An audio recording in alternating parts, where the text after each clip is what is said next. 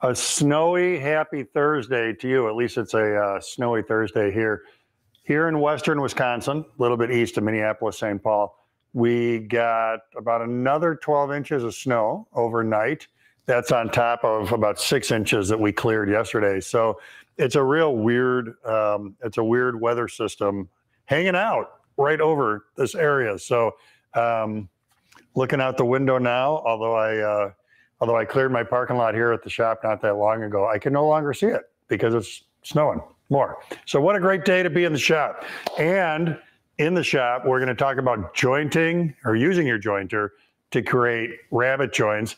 So speaking of joints, one of the things that um, one of the articles that we produced a while ago was about choosing the right joint based on what it is that you're trying to do.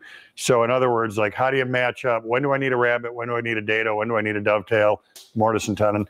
Um, so that PDF, if you scroll down just a little bit, or a new thing from us, you can scan the QR code that's on your screen.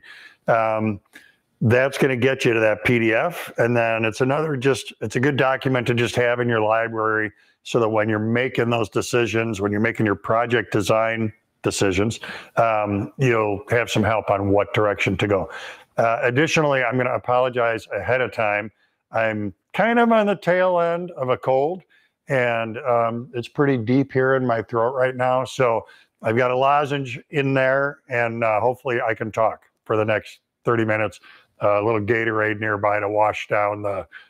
Uh, so hopefully I can uh, I can power through what we're about to do. Uh, part of the key to jointer to rabbeting on your jointer, I'll get it right before we're done. Part of the key to being able to do this is your jointer has to have what's called a rabbeting ledge, and I'm going to show you what that is on this machine. If it doesn't, you can't do this. Um, good question. Why would I do this? Why am I looking to rabbet on a jointer? Couple reasons for it. One is you'll see in a second. It's crazy easy to set up here. So when you look at alternatives like I put a router bit in a router table, I put a dado head in a table saw. Um, I would say in my world, if I'm doing a rabbet or two, I'm likely to do it here on the jointer instead of a table saw or a router table because it's so fast. It's so easy to set up. You also get really, really good cut quality off of the knives. You'll see when I show you under the hood here, this particular knife is carbide insert, helical head. We can do this whether it's straight steel knives, helical head, whatever you've got under the hood here, you're going to be able to do this technique. Um, so cut quality is great. Um, I would say actually cut quality from this is superior to what I get even off my really good dado head um, but similar to what you would get from a router bit because we've got a pretty similar cutting action between a router bit and um, the jointer. The other thing I like about it is that if you need to do a rabbet that's kind of funky, like if you own a rabbeting bit, it's got a ball bearing on it, and maybe it's a 3 8 rabbet bit. It's a half inch rabbet bit. What if you need 10 millimeters instead of 3 8 What if you need 12 millimeters instead of half inch? So with the joiner, you'll see we can custom produce the depth of that cut. And what I really like it for is what we're about to do, which is doing a wide rabbet with a narrow shoulder. So, and what you're looking at right here um, in the glare of the light, let me get it in the right spot. That's a little better. The X, the X is where material is going to come out. That little, that little line is what, um, that's the shoulder we're going to leave behind. So that really excessively wide rabbet, great application for a jointer. Um, jointers unplugged. So jointer ledge, or I'm sorry, God, rabbeting ledge. Here we go. That is that right there. That's the rabbeting ledge. So not every joiner has an arm that projects and kind of catches up again to the outfeed table here. When the infeed table goes up and down, the infeed table here goes up and down, this ledge is attached to the infeed table. It's independent of the outfeed table. So you'll see as I'm making adjustments, you'll see this surface lowering as we go. Now making adjustments. Commonly when we use a joiner, we've got an adjustment there that allows us to set depth of cut. And normally what I would do if I was just jointing edges is I would set this for a 30 second, maybe a 16th of an inch. That's controlled by turning this. And that's where it stays. And if we're making multiple passes, you make a pass, you remove a 16th, you make a pass, you remove a 16th. When we're doing rabbets, what we'll have to do is set depth of cut. I'm going to do about an eighth of an inch. Set depth of cut for the first pass. Then I'm going to come over here and I'm going to do this, and I'm going to set depth of cut for the next pass. Then I'm going to do that again, and I'm going to set depth of cut for the third pass. Honestly, the ability to rabbet is the reason why depth of cut goes so deep. You're never going to face joint or edge joint and take off a half inch, but you might rabbet and take off a half inch. So let me go back to my starting point eighth inch depth of cut. That's going to be our first pass. Now for setup, we've got to come back to the cutter head and I'm going to move the camera to get you in a better position. So walk this way.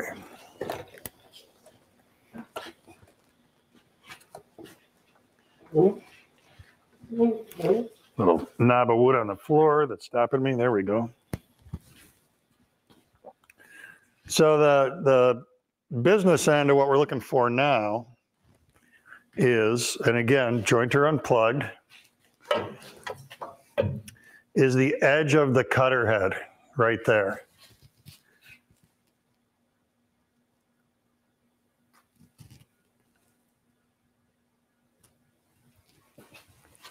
And again, in this case, segmented carbide, but it's the corner that I'm concerned about. I don't care that it's segmented carbide. That corner is the outside of my cut. If those were high-speed steel knives, same deal. I'd be looking for the corner of the knife, and that tells me when I do this, where to position the fence. I'm going to bring the fence over until the layout line on my material is right on the corner of the knife. Right there. And I'm behind the scenes here, kind of. I'm locking my fence in place. That's got to set up for a first pass. So let me zoom out, tilt up.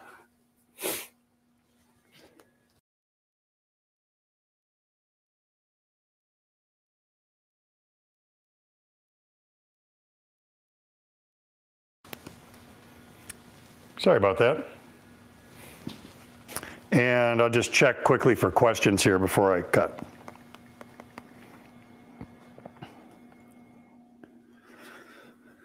Okay. So we've got a handful, it looks like. Paul says, my question for rabbeting a joint involves whether or not to use the piece I need to screw to another piece by tracing it before cutting it, then screwing it to the other for a stronger fit with glue. Mm, I don't get the question. If you're rabbeting a joint, I don't know where in there one would be screwing another piece on. Because the rabbet we're about to create, little L-shaped relief, different from a dado. Dado is a U-shaped relief. So when we cut the rabbet, we're creating that L, and then whatever we're putting in there, whether you know it's a picture frame and glass and a picture are going into that rabbet, or it's a joint and another component's going to fit in there. I don't know. I don't see where one would be screwing scrap into that. Um, then this question we already answered from Bill. Does it make a difference if you have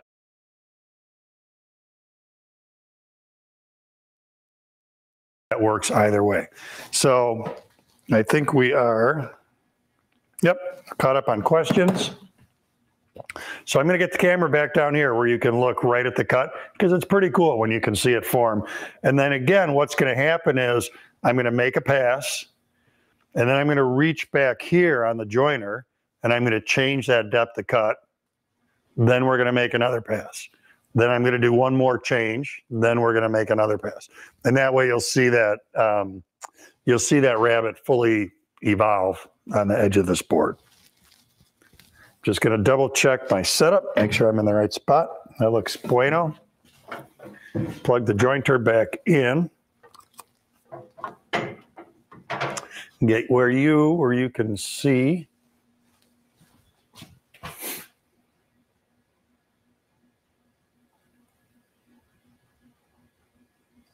And I'll show you after, um, yeah, I'm going to leave you about there.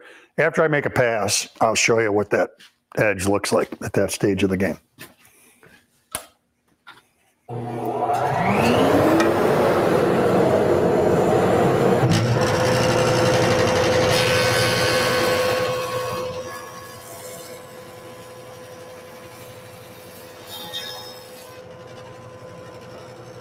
Number one. There's the ledge right there that we're leaving behind increased up the cut.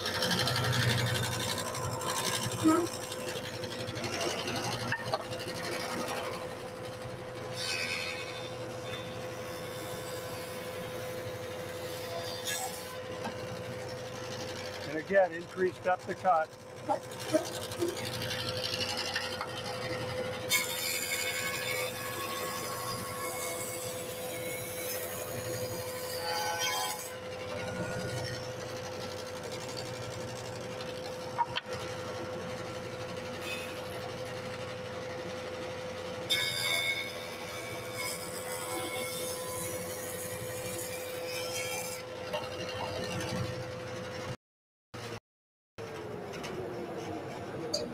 So there's the rabbet getting us in the light where you can see it without being glared out.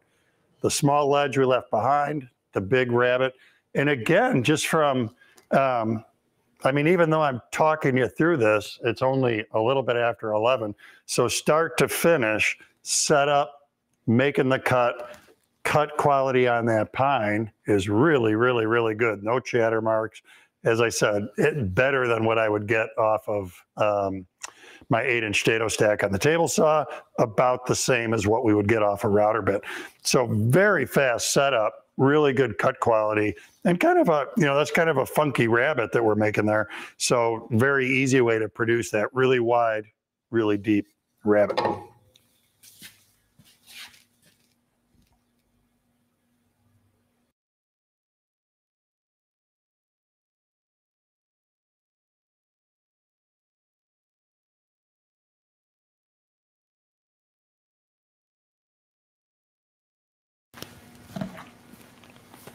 So I'm so sorry. I don't know what's causing. I can see the outbound signal is blacking out um, twice here.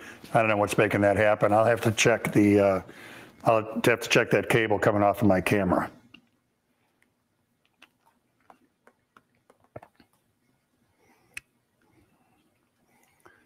Okay.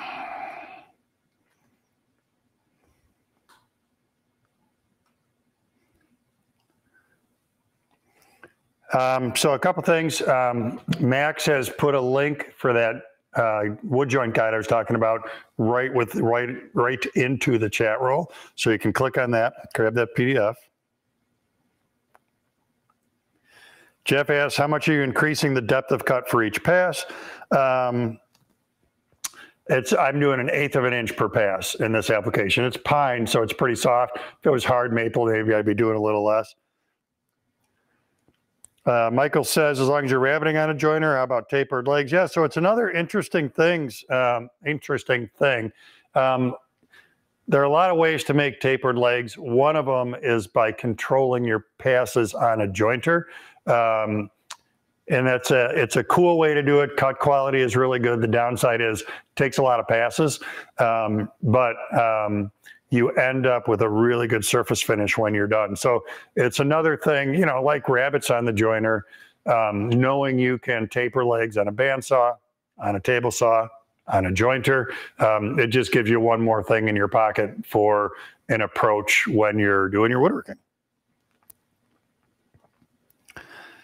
Um, Taupe says uh, he's in Edmonton or she. Are there dangers to running a table saw and other tools in cold temperatures, say minus 30 to minus 40 Celsius? Garage is not insulated.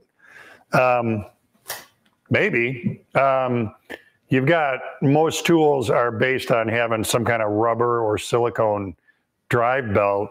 My biggest concern would be getting that belt to turn on the first go round. Um, that it, you know, it's in in the cold. It's kind of assume that oval type shape, and when you're asking it to roll over the pillow or pulleys when it's really, really, really cold, um, it might not initially want to roll over those pulleys. So um, I don't know. As as long as it goes, you know, as long as the saw blade starts to run, starts to spin, then I think you would be okay. Um, but um, getting that initial startup could be a challenge. Uh, could you do the rabbet on the flat side as well as an edge? Yep. Where do you place the weight from your hands on the rabbet ledge? So it, yeah, I do this. I do this rabbeting really the same way I do an edge when I'm jointing an edge, which is um, you really don't need down pressure. You shouldn't be leaning on your jointer. So all I'm really doing is resting my hands on the top of the board and then feeding across and out to the outfeed table. And honestly, that's all it takes. Um, so it's not, you know, again, because the um, because the jointer ledge is aligned with the infeed table. It's when I start the cut, this like the first. Let me look here. The first six inches of this is on the jointer ledge. So I do need to make sure I'm on the jointer ledge. You know what I mean? I got to make sure that edge is down when I start, and then you're going to be okay. And then from there, I'm sharing the pressure between my hands. But again, I hate to even use the word pressure because it's so light. It's really just a, excuse me, really just the weight of your hands.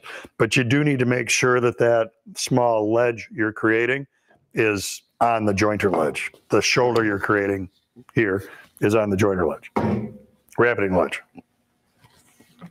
By the time we're done, I'll get it right.